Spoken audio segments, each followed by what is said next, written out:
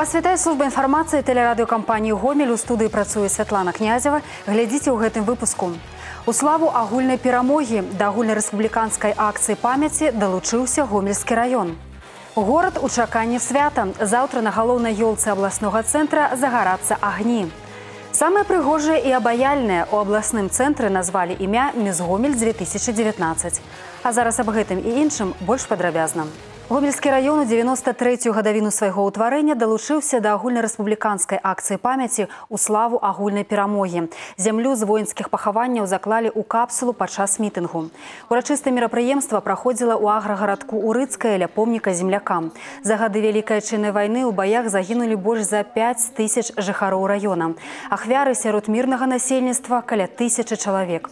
На тэрыторыі раёна пахаваны больш за 9 тысяч савецкіх салдат і партызанаў. Зямлю 40 49 брацкіх магіл і адзіночных пахаванняў змясцілі ў капсулу. Актыўны ўдзельнік акцыі ў славу агульнай перамогі моладзь навучэнцы ліцэя МНС праводзілі забор зямлі з брацкай магілы, якая размешчана ва ўлукаўскім сельсавеце. Для будучых выратавальнікаў далучыцца да акцыі памяці гонар. В первую очередь мы чтим память людей, которые отдали свою жизнь за нашу страну и вообще за освобождение мира от немецко-фашистских э, немецко захватчиков. И цена этого освобождения это, она очень велика. И поэтому я считаю, что это, это, такие мероприятия должны проводиться. Акция ў славу агульнай перамогі завершыцца 9 мая 2020 года у дзень 75годдзя вялікай перамогі. Капсулы з зямлёй размесцяць у храме помніку у гонар усіх святых у мінску. У адкрытых акцыянерных таварыствах, размешчаных на тэрыторыі гомельскай вобласці, укараняюць элементы карпаратыўнага кіравання. Зараз яны дзейнічаюць на 204 прадпрыемствах. Гэта 89 процентаў ад агульнай колькасці. Эфектыўнае карпаратыўнае кіраванне ў сучасных умовах стала неабходнай складаючай развіцця прадпрыемстваў і прыцягнення інвестыцый. Актыўная работа ў гэтым накірунку распачалася з адпаведнага даручэння ўрада і распрацоўкі метадычных рэкамендацый міністэрствам эканомікі сумесна з дзяржаўным камітэтам бюджэтам па маёмасці. Дакументамі прадугледжаны некалькі элементаў: зацверджанне карпаратыўнага кодексу і стварэнне органаў кіравання акцыянернага таварыства. Гэта, напрыклад, агульны сход акцыянераў і назіральны савет. Асобная ўвага надаецца інстытуту незалежных дырэктараў. Як правіла, іх запрашаюць для развіцця стратэгіі прадпрыемства. Гэта могуць быць як дзеючыя, так і былыя топ-менеджеры.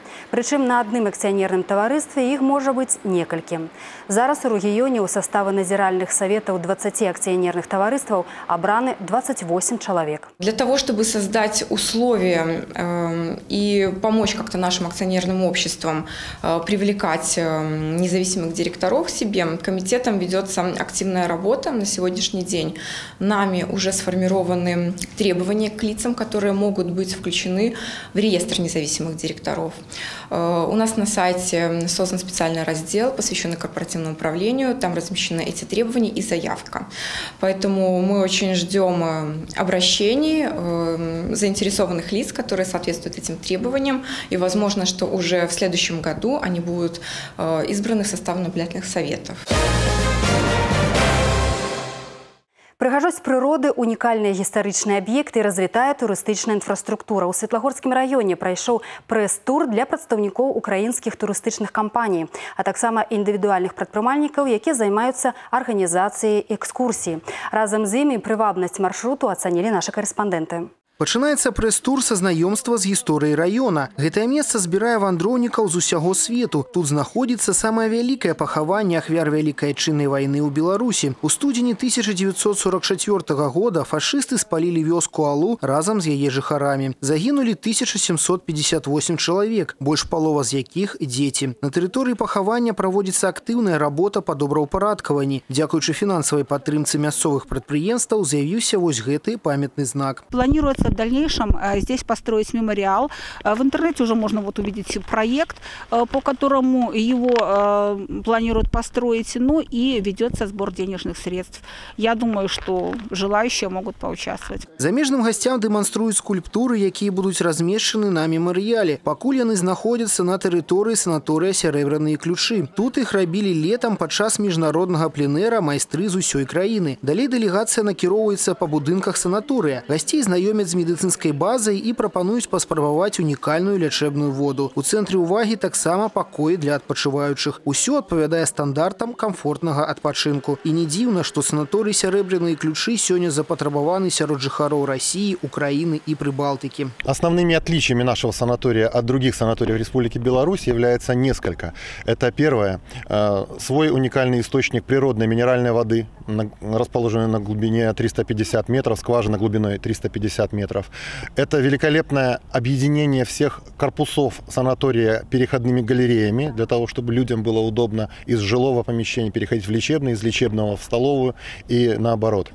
И, на мой взгляд, санаторий «Серебряные ключи» является оптимальным санаторием по критерию цена-качество Поправить здоровье можно и на наступным объекте, аднак лечыць тут не медыкі, а сама прырода. З даўніх часоў мясцовыя жыхары верылі, што крыніца ясачка валодае цудатворнай сілай. За вадой прыязджалі нават з самых аддаленых вёсак. Вядома, нямала фактаў, калі вада з крыніцы дапамагала людзям у самых бязвыхадных сітуацыях. Яшчэ год таму гэтага будынка не было. Яго стварылі мясцовыя энтузіасты, пасля добраўпарадкавалі тэрыторыю вакол. Яшчэ адно знакавае месца для светлагоршчыны мемарыяльны комплекс Баграцьён. Тут размешчаны памятны знак, акопы, музей, выстава военной тэхнікі. Наведвальнікі могуць дэталёва азнаёміцца з усімі этапамі падрыхтоўкі і правядзення знакамітай военной аперацыі. С радостью сегодня ознакомились э, с историческим достоянием э, Гомельской области. Я думаю, будем рекомендовать э, жителям Украины, в первую очередь жителям Черниговской области, которая по соседству и нам по расстоянию это очень близко. Потом будем рекомендовать приезжать обязательно в Беларусь, отдыхать, оздоравливаться. Мы сегодня посетили замечательный оздоровительный комплекс. Вот, э, набираться сил, здоровья, чтобы была возможность путешествовать дальше и дальше по Беларуси. Мы всегда сами тоже с охотой э, принимаем их э, приглашения, выезжаем к ним. Это сотрудничество налажено уже на протяжении нескольких лет, и активно мы друг друга поддерживаем в сфере развития туризма Добрая традыцыя правядзення падобных тураў захаваецца. Адзін з іх на тэрыторыі гомельскай вобласці плануецца таксама ў гэтым месяцы. Да ўдзелу запрошаны і прадстаўнікі расійскіх турыстычных кампаній. Дмітрий Котаў, Валерый Гапанько, тэлерадыёкампанія Гомель, Светлагорскі раён. Больш за 230 тысяч дзяцей прымуць удзел у акцыі нашы дзеці. Дабрачынны марафон стартаваў сёння. Асаблівую ўвагу па традыцыі нададуць дзецям, якія трапілі ў цяжкую жыццёвую сітуацыю, сіротам і выхаванцам дзіцячых дамоў, дзецям з абмежаваннямі па здароўі і маленькім пацыентам бальніц. Усяго па краіне вызначана больш як 130 устаноў, якія прымуць матэрыяльную дапамогу ад розных арганізацый у рамках акцыі. У нашай вобласці удзельнікамі святочных мерапрыемстваў стануць 67 тысяч дзяцей. Самай яркай падзеяй акцыі стане галоўная ёлка краіны ў палацы рэспублікі з удзелам прэзідэнта. Галоўная ёлка горада зазяе навагоднімі агнямі ўжо заўтра пачатак урачыстасцяў на плошчы Леніна ў 18 гадзін. Увогуле ў дні святаў гамяльчан парадуюць 24 ёлкі ў самых розных кутках абласнога цэнтра. Якія яшчэ сюрпрызы чакаюць жыхароў і гасцей горада, сёння расказалі журналістам падчас прэс-канферэнцыі ў гомельскім гарваканкаме. Падрабязнасці далей у сюжэце. Піксельная анімацыя на галоўнай ёлцы горада стала новаўвядзеннем мінулага новага года. Яе дапрацавалі і чакаецца, што сёлета зялёная прыгажуня паўстане яшчэ больш яркай і прыгожай. А па суседстве з ёй размесціцца сёлетняя жамчужына святочнага комплексу, музычны сад, тэматычная пляцоўка з сімваламі наступаючага года і беласнежнымі дрэвамі, лавамі заняла плошчу ў 400 квадратных метраў. Музычная праграма будзе суправаджацца светлавымі эфектамі. Рэпертуар складзены з любімых усімі пакаленнямі кампазіцый кампазіцый, прысвечаных святу. Як азначаюць спецыялісты, праект дастаткова складаны з тэхнічнага боку. Вот этот маленький наш музыкальный сад с маленькими гирляндами, он имеет две с половиной тысячи пикселей. Управляется четырьмя контроллерами. Вы понимаете, насколько техническая сторона как бы ушла, усложнилась. То есть задача в том, чтобы музыкаль, э, музыкальное сопровождение, музыка, э, музыка сопровождалась световыми эффектами. Ну, стараемся, чтобы они были максимально интересные. Навацыі чакаюць і сквер імя грамыкі. Тут працягнуць рэалізоўваць канцэпцыю мініяцюрных славутасцяў. Два новыя аб'екты глобус і нясвіжскі замак. А святочнай ілюмінацыі абяцаюць здзівіць у кожным з раёнаў гомеля. Падрыхтаваліся і аб'екты гандлю. Да новага года на плошчы паўстання пройдзе шэсць кірмашоў, дзе можна будзе набыць тавары да свята. Магазіны абяцаюць святочныя скідкі. Разгорніцца гандаль і каля галоўнай ёлкі. До 15 студзеня пакупнікоў будуць прымаць дзве зоны. Всего участвуют э, на площади Ленина порядка 20 субъектов хозяйствования и, наверное, э, 10 ремесленников точно уже заявились на то, чтобы э, реализовывать свою продукцию в предновогодние и новогодние праздники. Режим работы торговых объектов в будние дни будут э, начинать работу с 15 и заканчивать в 22.00. А Пятница, суббота, воскресенье и выходные дни с 15 часов до 23.15. Таксама зараз прапрацоўваецца расклад руху грамадскага транспарту падчас навагодніх урачыстасцяў. Поўную інфармацыю ў бліжэйшы час можна будзе атрымаць на сайце гомельскага гарвыканкама. Дмітрий Коту, Вольга Канавалова і Гармарышенко, тэлерадыокампанія Гомель. У гомельскім абласным драматычным тэатры адбылося ўрачыстае закрыццё 14 міжнароднага фестывалю славянскія тэатральныя сустрэчы. Журы фестывалю падвяло вынікі і прысудзіла чатыры спецыяльныя прызы і 8 дыпломаў пераможцаў. Лепшым спектаклем фестывалю названа камедыя рэвізор нацыянальнага акадэмічнага тэатра імя купалы. Двое акцёраў, якія былі задзейнічаныя ў спектаклі Віктор Манаю і Павел Харланчук Южакоў сталі пераможцамі ў намінацыі лепшая мужчынская роля. А прызы намінацыі лепшая жаночая роля дасталіся гомельскім актрысам Галіне Анчышкінай і Валерый Лагута. Абедзве артысткі працуюць у гомельскім гарадскім маладзёжным тэатры. Поспех ім прынёс спектакль пад назвай каралева прыгажосці. Лепшым акцёрскім ансамблем прызнана творчая група спектакля вячэра па-французску. У ім ролі выканалі акцёры гомельскага абласнога драматычнага і чарнігаўскага музычна-драматычнага тэатра імя Шаўчэнкі. Спецыяльны прыз журы лепшы дэбют на прафесійнай сцэне ўручылі рэжысёру-пастаноўшчыку Даніілу Філіповічу за спектакль рыба маёй мары у гомельскага драмтэатра. Уладальнікам яшчэ адной спецыяльнай узнагароды за актуальнасць звароту да тэмы вайны і за шчырасць сцэнічнага ўвасаблення стаў мазырскі драмтэатр Мямележа за спектакль маці. У абласным цэнтры вызначылі самую прыгожую і ўпэўненую ў сабе гамельчанку. Тытул «Міс Гомель 2019» атрымала Паліна Галамазава. Яе абралі сярод 14 удзельніц. Пераможца конкурсу працуе парыкмахерам у салоне прыгажосці. У праграме фіналу дзяўчыны чатыры разы выходзілі на сцэну для дэманстрацыі розных вобразаў. Аднак канцэпцыяй конкурсу «Міс Гомель» прадугледжана ацэнка не толькі знешняга выгляду удзельніц, а яшчэ і маральных якасцяў. Адно з заданняў – падрыхтоўка відэазваротаў зваротаў дзяўчын наконт грамадскіх праблем, што іх хвалююць, у тым ліку глобальных. Перад тым, як прагучала імя пераможцы, гледачы даведаліся, каго сярод удзельніц сабралі самай спартыўнай, а таксама дружалюбнай, стыльнай і папулярнай. У тройку лепшых, акрамя міс Гомель, увайшлі таксама уладальніцы тытулаў міс глядацкіх сімпатый і віце-міс. Ножки подкосились. Очень неожиданно было на самом деле, потому что э, сильные были конкурсантки. Всем спасибо за поддержку, которые пришли, поддержали девочкам, которые до конца дружили все вместе. Вот, и надеюсь, что мы будем дальше поддерживать связь. Акрамя кароны і шматлікіх падарункаў ад спонсараў праекта пераможца атрымала галоўны прыз сертыфікат на набыццё ноутбука. Узнагароды ўручылі і юным музыкантам. У гомелі ўзнагародзілі пераможцаў 17 міжнароднага дзіцячага конкурсу музыка надзеі, які на працягу тыдня праходзіў у каледжы мастацтваў імя Сакалоўскага. Сёлета творчы форум сабраў больш як 60 юных выканаўцаў з Беларусі, рассіі і Украіны. Яны спаборнічалі ў ігры на фартэпіяну ў трох узроставых групах.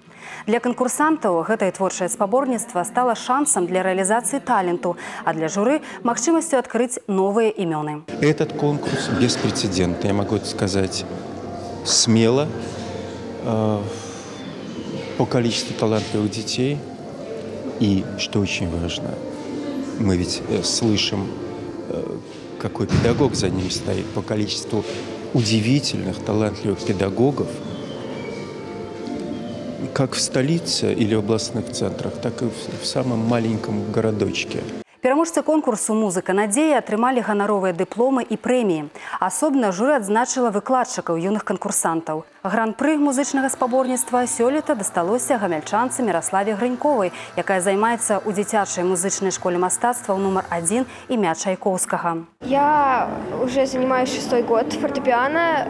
Э, у меня есть талант к нему, и мне очень нравится дарить людям музыку. Я мечтаю стать в будущем великой пианисткой. Лаўрэаты конкурсу прынялі ўдзел у заключным галаканцэрце.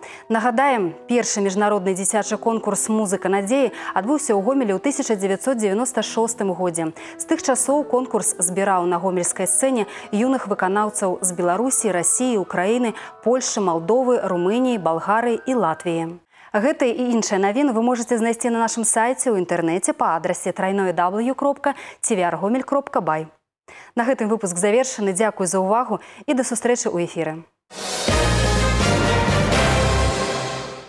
Эфир телеканала «Беларусь-4» продолжает де-факто. В студии Руслан Габрилев. Здравствуйте.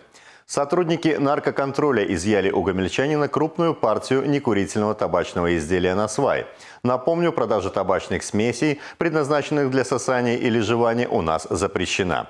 Коробки с веществом были обнаружены и изъяты в ходе осмотра подворья и хозпостроек 46-летнего мужчины. По информации сотрудников наркоконтроля, на свай предназначался для незаконной реализации на рынке в Гомеле. В результате было обнаружено и изъято почти 29 килограмм некурительного табачного изделия на свай. Это практически 960 доз на сумму почти 3000 рублей. Э, в отношении нарушителя был составлен административный протокол по статье 16.10 Кодекса об административных правонарушениях Республики Беларусь. Ранее мужчина уже привлекался к административной ответственности за аналогичное правонарушение. Судом Центрального района Гомеля за незаконное действие с некурительными табачными изделиями правонарушителю назначено наказание в виде 8 суток административного ареста.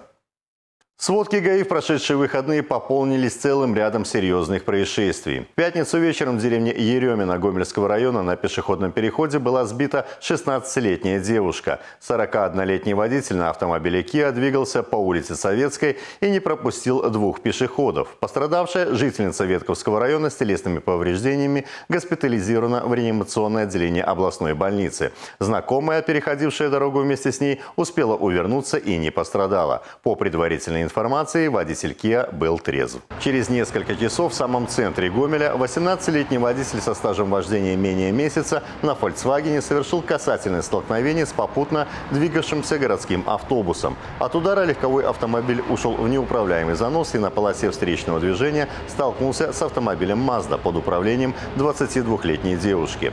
В результате 28-летний пассажир «Фольксвагена» получил телесные повреждения и был госпитализирован. А вчера в пригороде Гомеля на Черниговском шоссе 55-летний водитель, управляя автомобилем Volkswagen Polo, совершил столкновение с Audi 80. По предварительной информации, водителю автомобиля Volkswagen в пути следования э, стало плохо, он потерял сознание, из-за чего автомобиль в неуправляемом состоянии выехал на полосу встречного движения, где произошло столкновение с автомобилем Audi 80. Водитель Volkswagen госпитализирован в реанимационное отделение областной больницы с диагнозом обширный инсульт. В травматологическое отделение этого же медучреждения доставлен и водитель автомобиля Audi. И еще одно дорожно-транспортное происшествие попало в объектив камеры нашей съемочной бригады уже сегодня утром. На улице Ефремова водитель ровера на островке безопасности снес опору дорожного знака. Часть металлического столба осталась в земле и иномарка зависла на нем, как на стеле. По словам водителя, двигаясь по левой полосе движения, его подрезал другой автомобиль и, уходя от столкновения, он вынужден был принять влево. На его пути оказался дорожный знак. К счастью, пешеходов в этот момент не было. В машине также никто не пострадал. Госавтоинспекция проводит проверку. Это все новости на сегодня. Оставайтесь с нами и берегите себя. Я Руслан Габрилев. Благодарю за внимание. До свидания. На телеканале «Беларусь-4 Гомель» новости спорта в студии Максим Савин. Здравствуйте. На пути к финалу четырех гомельская волейбольная команда «Энергия» одержала победу в первой игре четвертьфинала Кубка Беларуси. Двухматчевое противостояние с Витебским Марка ВГТУ подопечные Дмитрия Лихарада начали на домашнем паркете. Дружины в нынешнем сезоне уже встречались. Игра чемпионата состоялась в начале ноября в Витебске и завершилась победой энергетиков 3-1. В первом кубковом поединке борьбы не получилось. Намек на то, что гостевая команда может зацепить соперника, появился только в третьем сете. Два предыдущих «Энергия» выиграла без особых проблем – 25-12 и 25-17.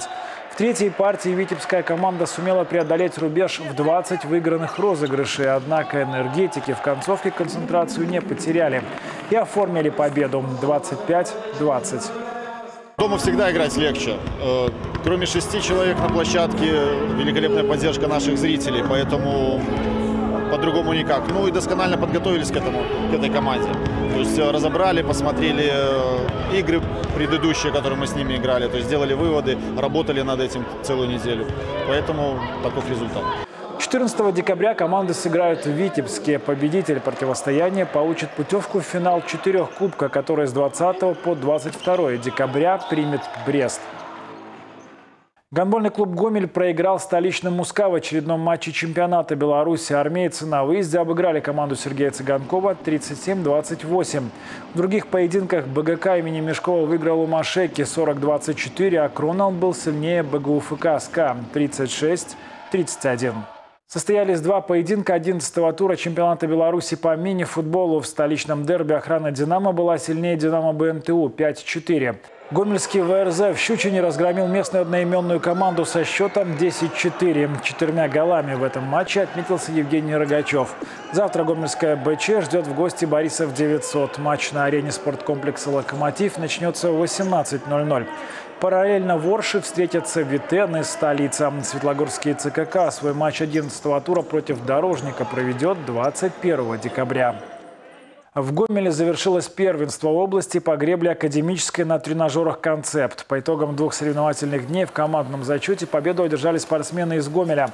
На второй строке расположились гребцы из Мозыря, на третьей – жлобинчане. Четвертое место заняла дружина из Светлогорска. Сильнейшие спортсмены отправятся в составе сборной области на первенство Беларуси.